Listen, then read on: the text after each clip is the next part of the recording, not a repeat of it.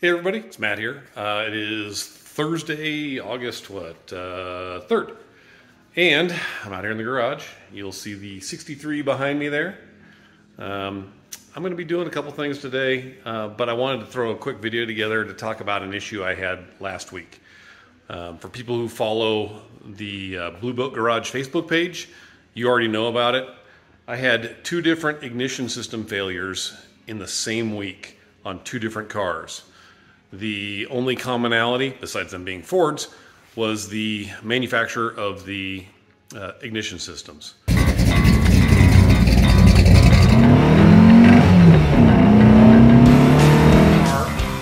Assembled rotor.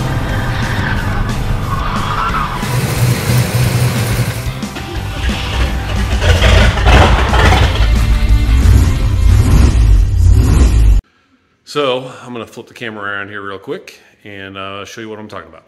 So here on the 63, um, anybody who's been paying attention to this, you watched I had that big giant HEI distributor on here for a while when I first got it. Uh, swapped it out. That is a Pertronix brand new stock look cast uh, electronic ignition distributor. The coil that's right there is the correct coil. Uh, you can I'll even zoom in here. Uh, it's a 1.5 ohm. That's what they tell you to run uh, with their either their conversion, drop-in conversions, or their stock look distributors. So I was driving this thing to work last Monday uh, at the gun store, driving in, got about seven miles from my house, and poof, engine is dead. Um, you can see where the coil's mounted on this engine. That's not an uh, unusual place for Ford coils to be mounted. That's where the factory mounted them on the small blocks and on some other engines as well. So uh, I started diagnosing. I had fuel, I had compression, so therefore I was next thing I checked was spark, and I had no spark. Uh, I was hoping it wasn't my distributor that had died, uh, so I checked to see if I had any spark coming out of the coil, and I had nothing. So I got a hold of my kid on the phone, had him bring me this old beater original Ford coil off of his T-Bird. I bolted it up, wired it up, and the car fired right up. So it was the ignition coil that had died. Um, Pertron and the coil was three weeks old. Um, it was their part number 40011, I think, um, which was their oil-filled 1.5 ohm coil. Um, doing some research, people were saying the oil filled ones were having some fa high failure rates. They suggested running the epoxy filled coils, um, and this is the epoxy filled replacement, which is their part number 40111, if I remember the part numbers correctly. So since I put it on here, it's been working fine. Um, that was Monday last week. Then Saturday, I took that beast there to a Cars and Coffee event. And I'm gonna come over here and open the hood here real quick. So that, what you're looking at in there, is a bone stock factory Ford points distributor. So when I when I built the engine for the boat, for the blue boat, I used this guy right here, which is a Pertronix Flamethrower Ignitor 3, which is their top of the line electronic ignition. Uh, if you can see in there, it's got an adjustable rev limiter built into it. Um, it looks somewhat like a stock Ford distributor from the outside, but nothing inside is remotely stock looking.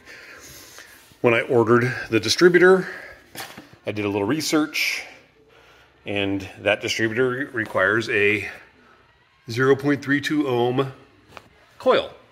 So that's what I have right here. Um, so I'm driving home from Cars and Coffee with my wife in the car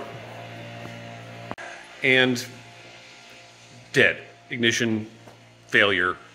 Uh, car started sputtering, uh, wouldn't take the gas, uh, just doing all kinds of weird stuff, and then it died. Um, so pull over on the side of the road. Yeah, this time I was close. I was about three miles from home um, and start doing some diagnosing, and it's the ignition system. Um, the distributor is my best bet, best guess. Uh, this time it was the distributor that let go, not the coil. So I get my kid on the phone, call him up, and have him bring me a bone stock points distributor that's laying on the floor in the garage, a different set of plug wires because I've got a that rotor that distributor had a male distributor cap on it, unlike factory Ford distributors which had female caps on them. So he brings me a set of plug wires, the distributor, and a coil.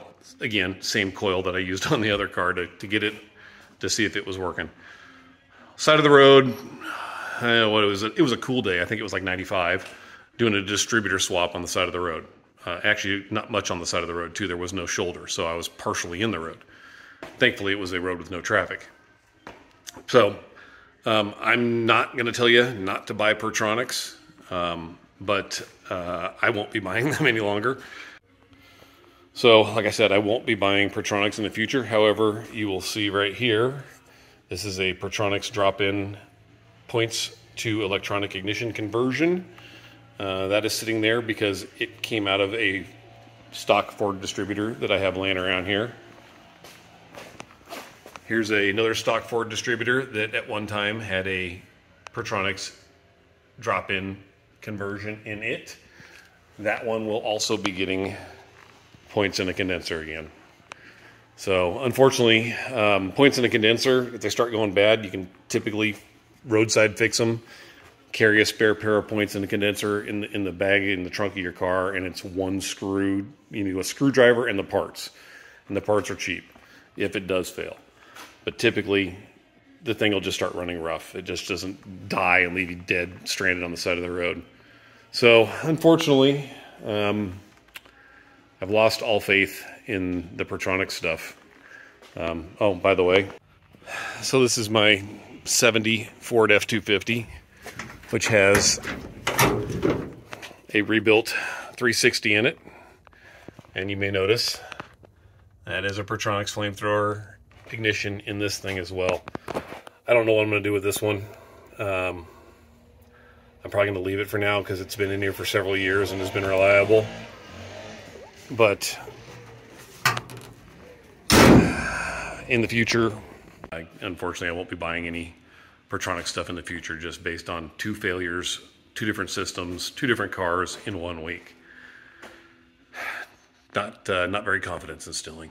So anyway, um, hope you guys are having a good day.